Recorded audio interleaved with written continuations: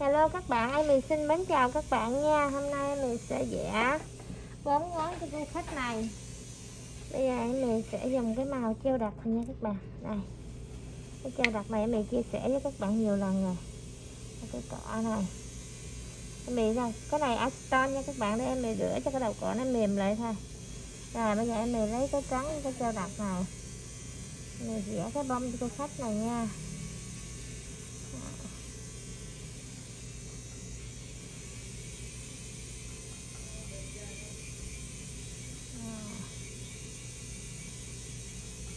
Bạn ơi mình kéo từng cánh nha.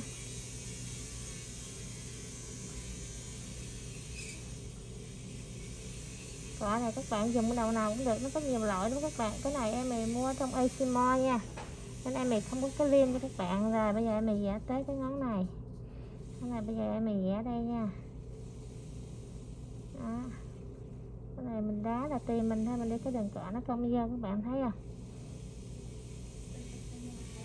Đó, rồi. Rồi, mình đi cái nét nó như vậy đó.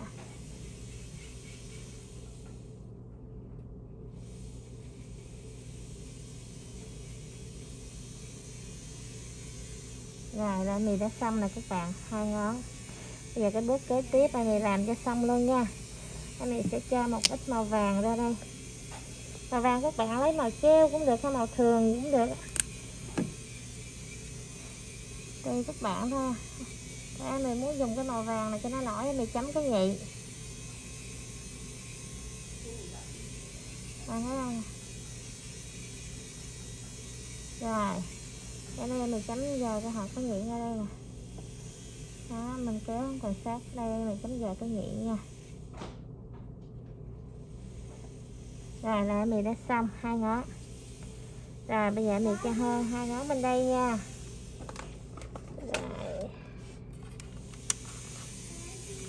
Rồi bây giờ em mình giả hai ngón bên đây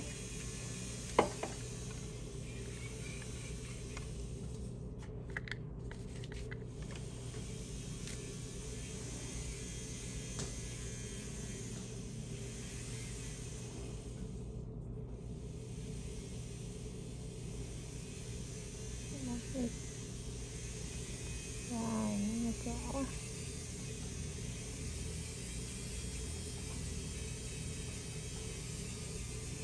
nó kéo cái mình kéo nha các bạn. Đó là mình kéo xong rồi. Đó là mình để xăm. Này rất là đơn giản, các bạn chấm xuống kéo thôi. Đó là mình có thể ra cái bông rất là dễ dàng. Rồi. Rồi, bây giờ mình vẽ cái bông bự đây nha. Rồi, mình vẽ cái này, cái bự đây mình vẽ một cái đây nha, cho nó khác một tí nha. Rồi. Ờ, bạn thấy mình kéo nó mình kéo mình đá nó là giờ mình nghiêng nó nhỏ thì mình nghiêng cái cọ qua. Đó, các bạn thấy không? Đó. Như cái nhánh bông cúc nó rủ xuống nè tại vì nó không có đủ diện tích, em mì giả cái này nó bự nên em mì giả một cái thôi. Cô khách này cũng rất dễ, cùng một loại bông thôi, muốn giả sau cũng được. Có nhiều cô khách dễ như vậy thì mình giả sau cũng được nha các bạn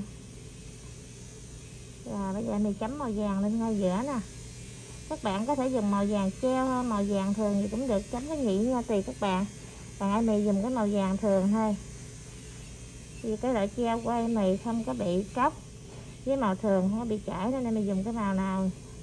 Rồi, các bạn thấy là mì đã xong. Rồi, bây giờ mì cho hơi tay bên đây nha. Chắc các bạn thấy rất là đơn giản không? Rồi bây giờ mình sẽ cầm khe lên nha các bạn. Đây, bốn cái bông này còn một loại không trắng luôn các bạn thấy không? Đây, cái này một cái nè. Đó. tùy theo cái nét cọ mình kéo mà cái bông nó ra tương đối nó khác nhau nha các bạn. Rồi, bây giờ mình sẽ cho hơi cái tay bên đây. Vì cái diện tích cái cái cái móng của khách rất là ngắn, không phải móng dài. Nên những cái phần trống nó còn không nhiều. Em mì giữ vậy luôn, em mì không có bỏ gì lên nữa em này không có cho spray để treo lên hay gì nữa tại vì móng ngắn quá các bạn thấy không? Còn ít diện tích trên đây em mì để vậy luôn. Tùy theo khách có nhiều của khách muốn vẽ cho đầy hết móng cho busy hết á, thì em mì vẽ. Còn với cái móng của khách này em mì vẽ vậy là em mì đã xong đó các bạn. Cái bước thứ hai bây giờ em mì bỏ nước bóng lên đây. À. các bạn để các bạn coi cái màu thường em mì chấm cái nhị nè. Em mì bỏ nước bóng lên cái màu nó vẫn y như vậy nó không có bị chảy bị lem bị gì hết. Đó các bạn thấy không? Nên em mì rất là dễ, em mì sẵn tay à muốn cái chấm màu keo thì chấm màu thường chấm. Còn nếu các bạn chấm màu thường mà nó bị chảy nó bị lem thì các bạn chấm màu keo nha. Hơi khô xong rồi thì nó không có bị tình trạng đó. Còn cái loại em mì xài thì em mì biết cái màu của mì chấm nó không có bị chảy rồi, nên em mì cảm thấy cái màu nào nổi, đẹp cho khách thì em mì xài thôi. Không nhất thiết lúc nào cũng vẽ màu keo không hoặc là vẽ màu thường không nha các bạn. Đó rồi đã xong một bàn tay cho cô khách bên đây rồi. Rồi bây giờ em này sẽ hơi các bạn bên kia luôn. Rồi qua cái đằng bên đây các bạn thấy hai cái bông nó khác nhau nè.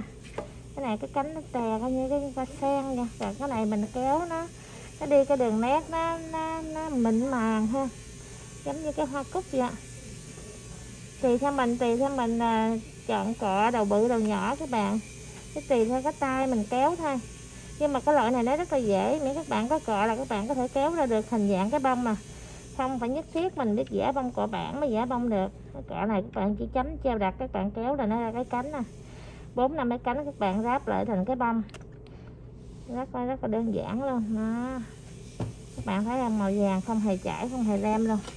Rồi, hôm nay em mình chia sẻ với các bạn cách vẽ bông nha. Bốn cái bông mà rất là nhanh nhanh gọn lẹ nữa. Đơn giản luôn các bạn nào không biết xài cọ bản cũng vẫn vẽ được nha các bạn. Bây giờ em xin kết thúc cái video này tại đây nha các bạn. Các bạn nhớ bấm like, share và đăng ký kênh ủng hộ em để không bỏ lỡ những cái video mới của em em xin à, kết thúc cái video tại đây. Chào các bạn.